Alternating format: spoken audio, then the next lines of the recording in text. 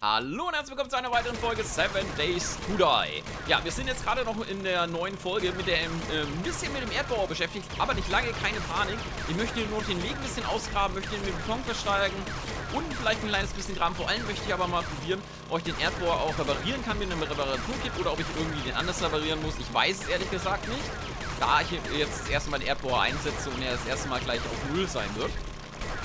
Bin ich mal selber sehr gespannt, wie es aussieht, aber ich glaube, wir kriegen es hin. Level 60 haben wir gerade erreicht. Sehr schön. Und ja, Basisausbau steht im Vordergrund. Allerdings werden wir in dieser Folge, das kann ich versprechen, auch looten gehen. Das ein oder andere Gebäude. Wir werden uns rauswagen und... Ja, 17.40 Uhr müssen wir mal schauen. Wagen wir uns raus? Ja, wir wagen uns eigentlich gleich raus. Das ist eigentlich Blödsinn, wenn ich jetzt nicht looten gehe. Weil die Zeit läuft mittlerweile, äh, ja, um einiges schneller ab. Denn ich habe mittlerweile die Zeit auf 40 Minuten pro Tag begrenzt. Vorher waren es 60 Minuten, also wir haben 20 Minuten pro Tag weniger eigentlich Zeit zum... Ja, insgesamt weniger Zeit. Das ist Tag- und Nachtzyklus letztendlich in einem vereint. Was ist denn hier kaputt? Alter, Haben wir hier schon drin? Man muss mit dem Minibike übrigens aufpassen bei, so, bei solchen Aktionen. Das kann auch mal tierisch ins Auge gehen. So. Ich glaube, hier drin war ich noch nicht. Oh, das siehst du sowieso. Was ist das denn für ein Haus? Äh. Rechtzeitig ein. Ah. Oh Gott. Okay. Äh. Äh. Danke. Okay. Na, da bin ich jetzt mal gespannt. Okay. Wir haben das Problem, dass wir jetzt Level 60 sind. Bedeutet, wir haben sehr viel mit äh, Ferret-Zombies zu tun und mit ja, mit Spider-Zombies, Ferret-Zombies, alles mögliche an Zombies möchte eigentlich ungern da runterfallen. Denn da in dem Schrank hocken hundertprozentig hockt der ein oder andere Zombie garantiert drin. Was soll ist das denn? Hä? Äh. Was ist das? Äh, hä? Was? was? Jetzt mal ohne Witz. Ich hab... Was ist das für ein Zo... Das sind keine... Ist das Brenn... Sind das nur brennende Zombies?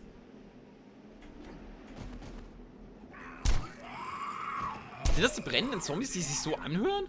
Ich habe das noch nie gehört. Das Haus ist auf jeden Fall mega krass. So ganz ohne Boden ist extrem schwierig auch zu looten, denn ich glaube, man würde ja auch runterfallen. Und es hört sich mega krank an. Ah, guck mal, da oben ist noch ein Schränkchen. Nitrat immer gut. Vor allem den Müll durch, äh, durchsuchen. Es wäre... Ne, da geht's, glaube ich... Ach, guck mal hier. Tatsächlich, das sind nur die brennenden Zombies, glaube ich. Bist du tot? Ja. Also wir sind im verbrannten Biom unterwegs. Müssen aufpassen, dass wir nicht überhitzen. Aber ich glaube nicht. Ach, guck mal, da liegen Medikamente rum.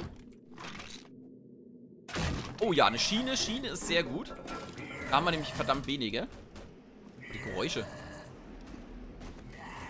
Ich muss aufpassen, dass ich... Ich habe das Gefühl, dass ich hier irgendwann gleich durch den Boden durchbrechen werde. Okay, hier ist keiner. Oh. Ah, oben auch. Ja, es sind aber allerdings... Hier sind wirklich gerne mal Ferret-Zombies unterwegs. Oh, das Gebäude ist ja mega krank. Ah, was haben wir hier? Öl. Ölschiefer. Könnte man, glaube ich, ich glaube, man kann damit Benzin herstellen. Ich habe es, glaube ich, noch nie hergestellt. Man kann das im Verbrannbiom, kann man das abbauen. Wie äh, Kohle beispielsweise. Oder konnte man zumindest abbauen. Ist da was drin? Ah! Uh, okay. Ähm.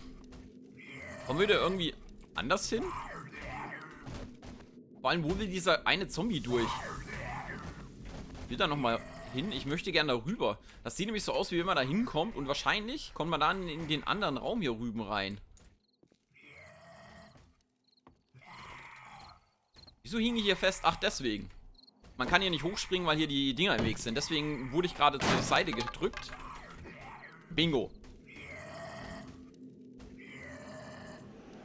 Komme ich da? Boah, ja, nice.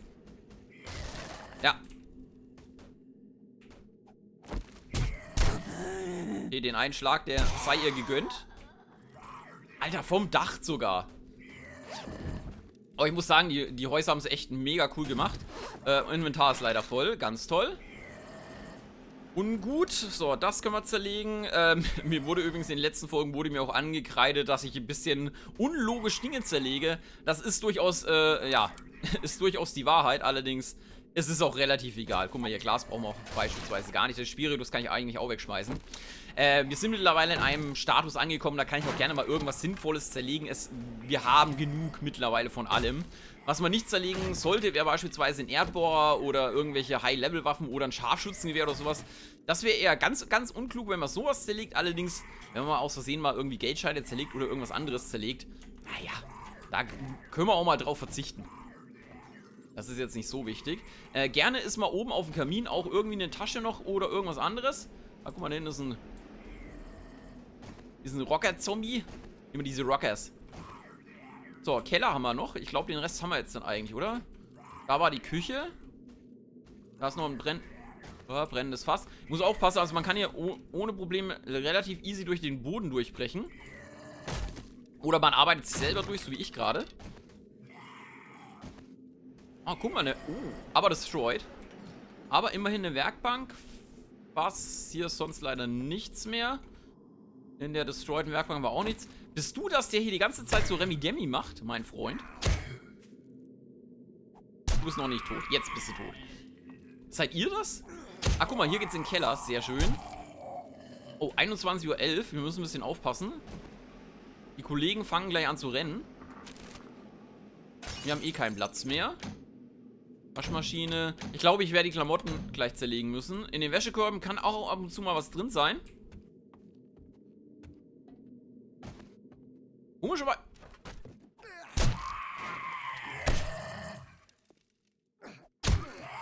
Komischerweise noch kein Feral-Zombie äh, gesehen bis jetzt. Ich würde gerne die Kiste noch mitnehmen. In der Kiste kann nämlich drin sein, unter anderem Teile fürs äh, Motorrad oder auch fürs Auto. Motoren. Ja, oder auch fürs Fahrrad. Äh, das kann weg. Äh, boah. Ah komm, trübes Wasser kann auch weg. Dann nehme ich lieber das Zeug mit. So, wir müssen jetzt allerdings wieder gehen. Wir haben 21.40 Uhr. Ich würde ungern hier unten sein. Wenn gleich Nacht ist, weil gleich fangen sie an zu rennen. Out of Stamina, ganz schön. 21.48 Uhr. Ich will zu meinem Minibike. So, dann werden wir in der Folge noch ein bisschen, also wir haben ein bisschen gelootet. Ist jetzt leider geschuldet dadurch, dass ich äh, ja nur noch 40 Minuten habe. Das heißt, ich glaube, es sind nicht ganz 20 Minuten. Es müssten so 25 Minuten, glaube ich, sein, Tag und äh, der Rest dann Nacht, die 15 Minuten. Ungefähr. Ist es nicht mehr ganz so aufgeteilt. Habe ich natürlich ein bisschen weniger Zeit auch zum Looten. Allerdings gehen wir auch halt die Tage schneller um. Und ich glaube, es ist eine gute Lösung. Äh, ihr könnt mir gerne mal die, in die Kommentare schreiben, was ihr davon haltet. Ich, ob ich die Zeit so lassen soll oder ob ich sie vielleicht sogar noch tiefer setzen soll. Wobei, noch tiefer würde ich eigentlich äh, ungern gehen wollen. So, wir tanken nochmal nach. Äh, jetzt bauen wir dann ein bisschen in der Basis rum. Hier dürfte mir eigentlich nichts passieren. Ich weiß, ich habe gerade die Klappe offen gelassen. Aber dass da ein Zombie genau durchkommt, selbst wenn dem so sein sollte, können wir ihn umhauen. So, gucken wir mal. So, den bräuchten wir äh, reparieren. Ach cool, die... Ach, nice. Okay, es kostet tatsächlich ein Waffenreparaturkit, um ihn zu reparieren. Ist nicht das Problem. Äh, man kann ihn aber sogar modifizieren, wie ich gerade gesehen habe. Da bin ich ja mal gespannt, was man da einbauen kann. Vielleicht irgendwie einen besseren Bohrkopf oder sowas wäre cool auf jeden Fall. Also man kann mittlerweile echt alles modifizieren in dem Game. So. Hier schon mal die ersten Stahlgerüste setzen. Dann sieht die Basis auch mittlerweile nach was aus. Der Tunnel wird auch noch richtig schön ausgegraben, auf jeden Fall. Alles mit Beton ausgelegt. Haben wir noch ein bisschen was? Ja. Komm, den können wir eigentlich komplett dafür hernehmen. Dann kann das Ding schon mal komplett austrocknen. Mein Eingang kann ich so lassen, also zumindest die Horde hat sich dafür nicht interessiert. Das heißt, ich war weit genug mit meinem Eingang weg von der Horde. Sodass sie mir nicht die Bude einrennen. Oh, wie viel Beton haben wir jetzt noch? 55. Ah, 5 Stück gehen noch sogar. Okay. So, dann können wir eigentlich einmal oben noch entlang graben. Aber ich müsste erstmal äh, Dinge ablegen, ganz dringend, glaube ich.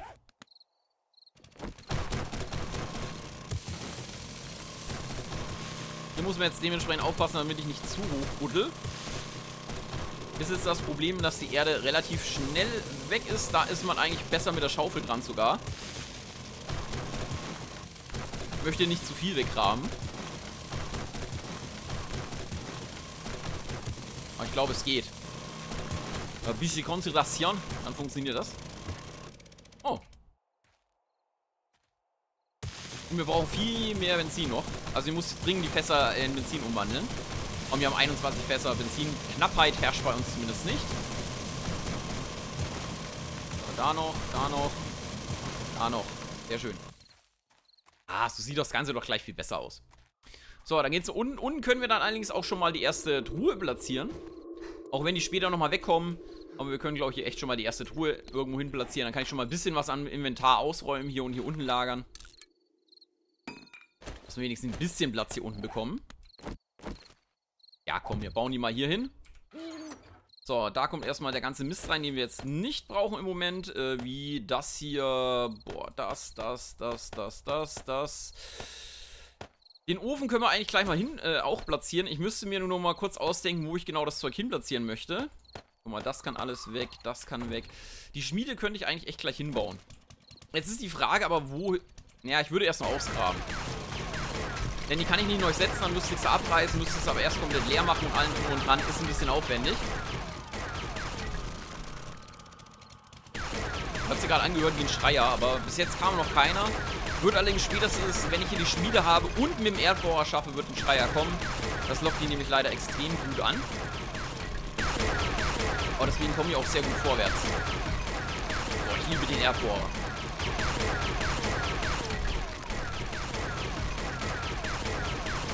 Zum Abstand das beste Werkzeug, das sinnvollste Werkzeug in dem ganzen Spiel. So, einmal nachladen. So, oder machen wir hier hinten schon Schluss und machen hier tatsächlich mal hier die Schmiede tatsächlich schon hin. Komm, ich platziere die hier hin. Dann bauen wir einfach ein bisschen außen rum. Ja, komm. Hier kommt sie hin. So, dann machen wir einmal, machen wir einmal Holz rein. Dann kommt hier einmal Metall rein. Und Clay rein. Und die zwei Stühle kommen noch mit rein. So, das wird dann praktisch meine Hauptschmiede werden. So, das hier, das hier und wo sind die zwei Stühle? Hier. Und einschalten das Ding. Dann kann das jetzt schon mal vor sich hin brutzeln. Und wir können hier später dann auch das Metall herstellen. Das wir brauchen für die Basis oder für die Werkzeuge und so weiter und so fort. So, Minibike ist mein nächstes Ziel eigentlich. Wenn wir jetzt genug äh, Stahl zusammen haben, ist ja momentan in meiner anderen Basis in der Herstellung würde ich eigentlich erst erstmal um das Motorrad kümmern wollen. Denn gerade die Autos interessieren mich doch wirklich sehr. Ich glaube, den einen oder anderen garantiert auch, der das Let's Play hier guckt. So, da noch eins weiter weg auf jeden Fall. Ja, dann würde die Folge leider doch hauptsächlich wird sie wieder eine Baufolge werden. Das heißt, ich muss mich eher, ich beschränke mich jetzt dann wieder auf die Nacht, dass ich da hauptsächlich abbauen werde und tagsüber dann eigentlich looten werde. Das heißt, wir müssen das noch ein bisschen besser timen. Das lag jetzt leider dann an mir dementsprechend.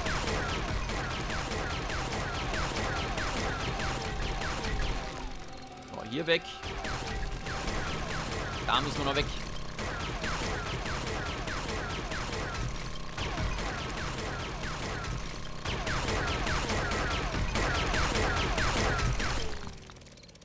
Okay.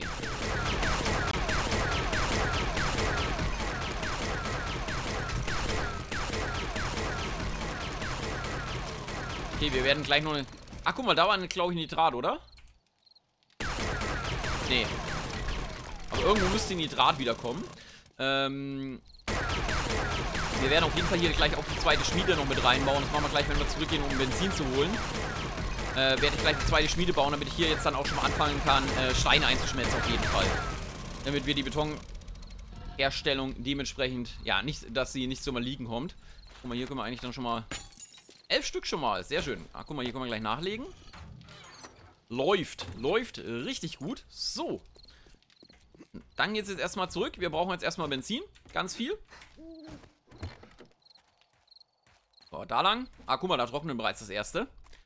Also jetzt erstmal zurück wieder zur Basis. Hier wird dann auch noch ausgebaut und so weiter und so fort. Also wir haben noch relativ viel Ausbau momentan vor uns. Aber jetzt dann erstmal Benzin. Ah, da haben wir auch noch 10.000 Autos in, der Autowerkstatt, die wir ausschlachten können. Es läuft. Es läuft äh, richtig gut. Ich freue mich schon auf die nächste Horde. Nächste Horde ist äh, erst Tag 28. Aber da kommen wir jetzt relativ zügig hin. Gucken nur, dass hier jetzt dann nicht wieder Zombies nachgespawnt sind. Aber da ich jetzt mein Bett neu platziert habe, man sieht es jetzt oben. Jetzt ist es wieder gesetzt. Dementsprechend sollte da jetzt erstmal nichts passieren. Aber wir können mal ein Minibike ein bisschen ausräumen hier noch mit. Ah, auch hauptsächlich Nahrung drin. Na, fast. So, bisschen Energie.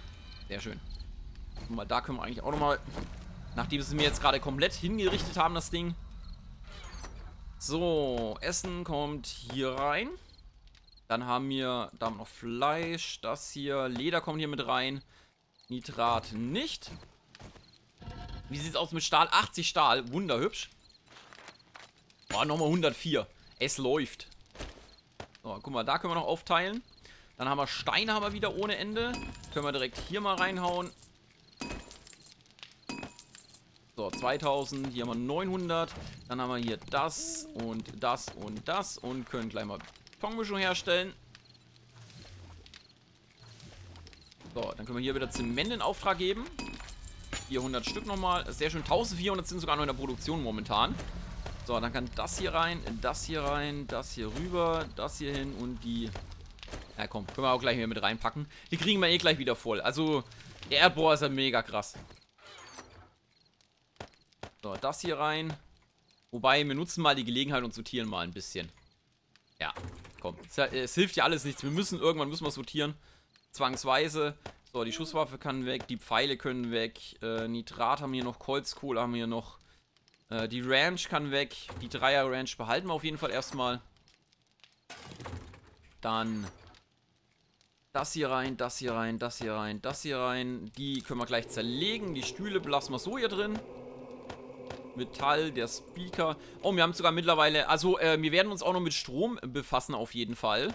Allerdings erst ein bisschen später. Aber kommt definitiv auch noch. Äh, der Messbecher kann hier schon mal rein. Boah, was machen wir damit? Das kann hier rein, das eigentlich auch. Die Pläne habe ich jetzt, glaube ich, ja genau, die Pläne habe ich alle hier drin. Auch das Zeug zum Verkaufen? Ja, auch das Zeug zum Verkaufen unter anderem. Das bleibt dann auch erstmal hier. Hier haben wir, glaube ich, Klamotten. Genau, hier haben wir Klamotten drin. Man findet mittlerweile viel, viel weniger Klamotten. Also es waren früher viel, viel mehr Klamotten, die man gefunden hat. Da haben sie echt eingespart mittlerweile. So, das hier, den Mist hier. Äh, ja, komm, die kann eigentlich auch mal erst hier rein. Stahlspitzen auch nicht übel. Halt, Schießpulver hat hier drin nichts verloren. Äh, Reifen. Oh, wir haben drei Reifen. Wir könnten eigentlich jetzt dann schon mal das Motorrad uns angucken. Das war gerade ein Fehler. Äh, das hier... Mal haben wir hier Tablettenzeug. Das kann hier rein. Hier haben wir nochmal Nitrat und Holzkohle. Äh, ich habe ja irgendwo auch eine fertige Station. Ich glaube, ich habe da sogar schon äh, Schießpulver in Auftrag gegeben, um mir Munition herzustellen. Da müssten wir vielleicht auch nochmal nachgucken. Die habe ich auf der Karte allerdings markiert. Die werden wir auch wiederfinden dadurch. So, das Ding hier kann weg. Haben wir hier nochmal Nahrungsmittel. Hier haben wir noch eine Weste. Oh, da müssen wir mal gucken, ob da vielleicht was Besseres dabei ist. Ah, halt, Wire Tool haben wir hier noch drin. Ja, das war die falsche Taste. Was haben wir hier noch drin? Ah, ein bisschen Motorzeug auch. Motorzeug habe ich, glaube ich... Schmeißen wir hier mit rein. Äh, Pläne kommen da rüber. Hier haben wir 20 Blutkonserven. Okay. Was die hier? So, Wire Tool haben wir mittlerweile auch 2000 Stück. Da können wir auch mal ein bisschen was zerlegen auf jeden Fall. So, das hier, das hier, die Knochen können hier rein. Äh, Kleber könnte ich mir mal noch ein bisschen herstellen. Äh, trübes Wasser und Knochen. Wir brauchen auf jeden Fall nämlich wieder Kleber. 15 Stück. Das wäre nett. Kleber äh, eine Minute, ja, das reicht auf jeden Fall. Guck mal, hier Gemüseeintopf. Momentan sind wir allerdings noch nicht unterernährt. Wir müssen aber gleich mal gucken. Ich glaube, wir müssen demnächst wieder mal Nahrung ein bisschen reinhauen. So, hier können wir mal die Hälfte rausnehmen und das kann weg und das bleibt. Die können weg, das kann weg, das kann weg. Der Compound-Bogen kann weg. Hier müssen wir auch wieder ein bisschen was zerlegen. Wir nehmen uns mal die hier, das hier, den hier und auch die Taschenlampe wird zerlegt. Wir haben einfach genug davon. Und noch mehr aufzuheben wäre einfach sinnfrei. So, das hier. So, wie sieht es jetzt hier aus? Wir brauchen das, das. Ich glaube, Kleber was. Oh, 37. Oh, wir haben jetzt 37 Kleber drin. Äh, für einen Blasebalg. Ich würde mir gern... Ach, Klebeband und Nägel. Uh, Klebeband müssen wir, glaube ich, herstellen. Nägel haben wir, das weiß ich. Klebeband muss mir tatsächlich herstellen. Ist aber mit den 37 Klebern nicht das große Thema. Äh, Klebeband. Ach, mit Stoff. Ich habe gedacht, mit Papier. Äh, Stoff 38. Nur 38. Äh, ich würde mal auf jeden Fall 10. Ist nicht verkehrt. Okay, Klebeband, Nägel, Blasebalg. Sollten wir jetzt alles haben. Richtig. Ah, mit geschmiedetem Eisen muss ich das Ding reparieren. Meine Werkbank sollte ich aber auch reparieren. Ja. Nicht, dass die noch irgendwann kaputt geht. So, wir, dann kann das Zeug hier weg. Das kann raus, das kann raus, das kann auch raus. Die Mechanical Parts können weg. Hier kommt das rein. Sehr schön. Äh, gucken wir mal kurz nach. Läuft das Ding unter Motorrad? Tatsächlich, Motorcycle. Okay, wir brauchen den Rahmen. Wir brauchen dafür, haben wir, Klebeband, Leder, Electrical Parts, Mechanical Parts. Haben wir eigentlich alles. Stahl haben wir. Wir können das Motorrad bauen. Drei Räder haben wir. Einen Motor haben wir. Richtig. Batterie haben wir. Wir bauen uns, in der nächsten Folge bauen wir das Motorrad zusammen. Das machen wir auf jeden Fall. Äh, das war's für die Folge. Wir sehen uns dann hoffentlich in der nächsten Folge wieder. Vielen herzlichen Dank fürs Zusehen. Bis zur nächsten Folge bei 7 Days to Die. Macht's gut.